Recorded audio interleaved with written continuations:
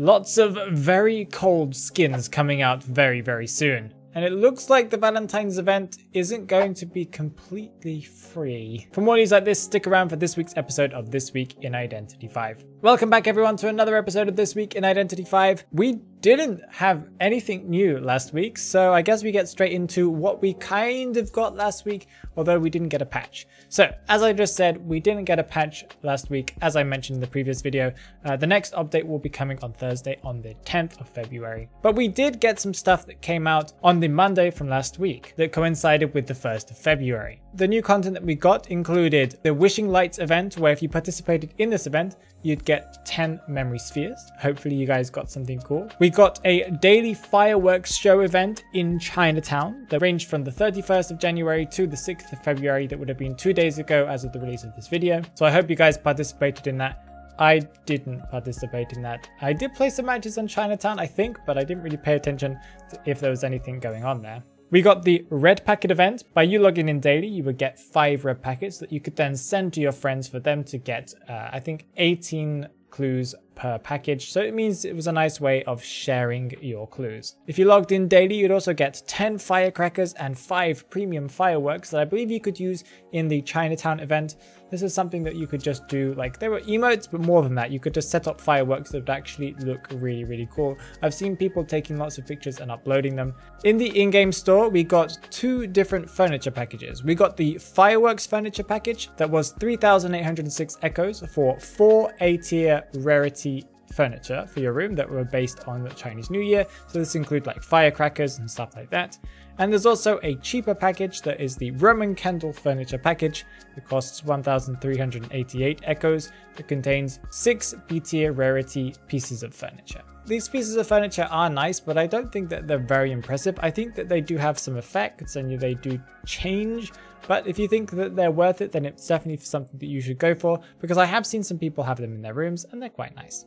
Some other B tier furniture is available in the Spyglass store for only 80 spyglasses each.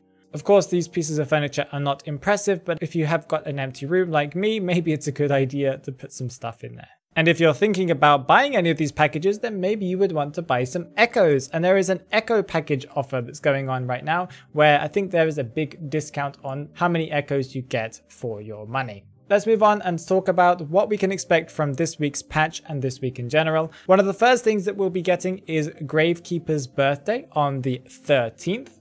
Again, they have changed recently the birthday event, so now you don't have to complete the questions to be able to get points, but it would be quite nice if you guys got the points. I believe if you complete the questions, you do get an extra bonus. I did manage to participate in at least one of the birthdays because my game was working. On the following day, we have another character's day, another character day. We have Barmaid's birthday. So once again, you'll be able to unlock a. Uh, I think by now you'll be able to get a portrait frame for her if you got last year's one, and Gravekeeper as well. You'll be able to get a portrait frame for him too.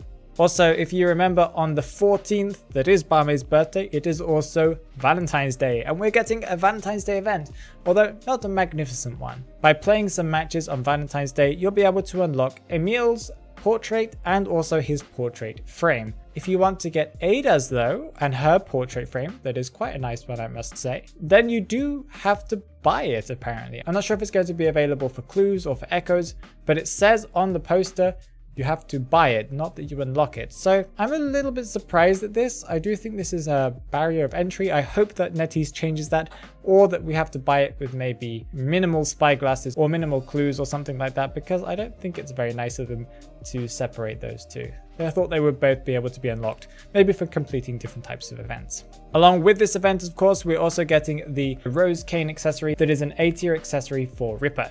This one is the one that lets you carry the survivor in your arms, but it doesn't permit you to attack because there is a blue rose cane and there is also a red rose cane. The red rose cane lets you attack and has the same animation, and the blue cane does not let you attack. So please be aware that if you play this, you are losing a little bit of an ability as a hunter to be able to attack survivors if they get in your way. I can also imagine we'll get some other changes, maybe some adjustments to characters, uh, but they haven't really announced anything. So let's get into the leak section where we can talk about what we can expect from the future of Identity V. The first thing that they have announced is, well, a lot of Season 20 stuff. First of all, they've announced the accessories that we should be getting from next season, season 20s, rank essences. This means if you participate in rank matches, you'll be able to possibly unlock these things. The first one is an S tier accessory for entomologists called the Encased Butterfly.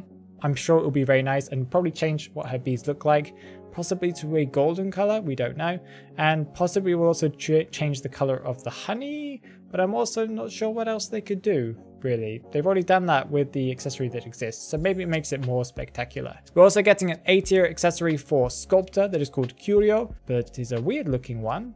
Not really sure what it's going to do.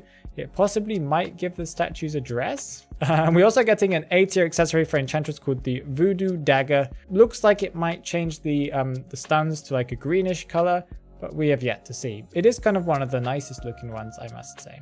The Season 20's Logic Path skin has been announced and we know who it's for. It is for Axeboy. And Axeboy is getting a cool looking snowman slash something, I don't know what to call it, skin where according to his accessory that you'll also be able to get from this event, he is apparently supposed to be a professional skier. But this is a very cool looking skin and I'm really excited to get this, so hopefully if I manage to play the game enough next season. In the Logic Path, we'll be getting a portrait that is Axeboy's uh, new skins theme. We're also be getting a portrait frame, his accessory that is like a uh, poster or a canvas of him doing his skiing, and also we'll be getting Axeboy's skin, of course, that is a very nice one. Some more skins that we're getting in Season 20 include Season 20 Essence, one that has been confirmed to be winter sports themed one. As I mentioned in the last video, there were rumors that it was going to coincide with the Winter Olympics that are happening in real life, and that is true.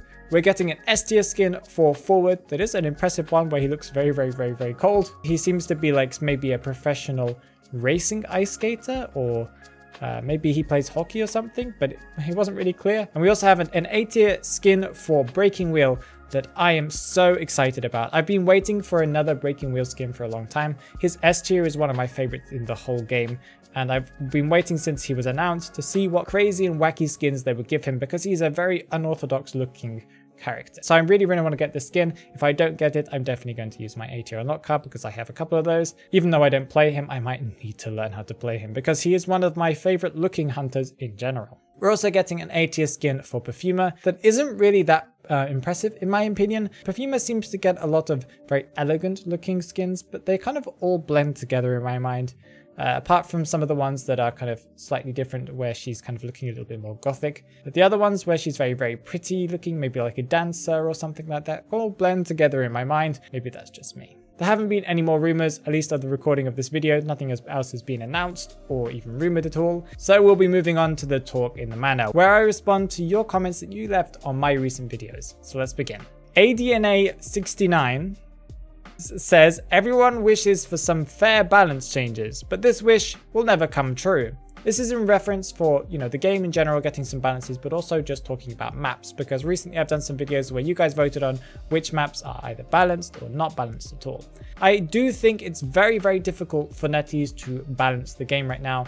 Uh, I do think they need to put way more effort into maybe talking to the community about it, but um, I mean, at least in the case of maps, very, very difficult to balance. You need to see, and they need to check their own statistics to see which places are the strongest for kiting and maybe how they can make that a little bit more uh, hunter-sided and also see where usually hunters get the most amount of hits and maybe give survivors something ben to benefit from there. If they see that there are very strong kites from very high tiers for a very long time, maybe they need to adjust some areas. I don't really know how you balance a map per se. Aiden Kehemitswe says, there are no hunter-sided maps. That is technically true according to you guys. All of the maps were below 25% of votes, so none of the maps were actually considered to be hunter-sided and none of the maps even came anywhere near approaching the other percentages. It is kind of sad to see that no map is considered to be hunter-sided and even the highest ones don't even get anywhere near as close to being anywhere near as uh, survivor sided as the maps are considered to be. But it's also a good thing as well because, you know, if it's neither survivor sided or neither hunter sided, then it's balanced and that's what we want. But I do think that they could also adjust some of those maps that some people think are a little bit hunter sided to kind of see where the problems are there and maybe just get rid of it being survivor sided and hunter sided at all and make the maps as balanced as possible. That I do think is impossible to do. Violet Blue Cur says, instead of spending real money on IDV's cool looking pixels, I have chosen to simply spend money on IDV's plushies instead. So this is in reference to my recent shorts video where we were talking about how expensive the SS tier skin was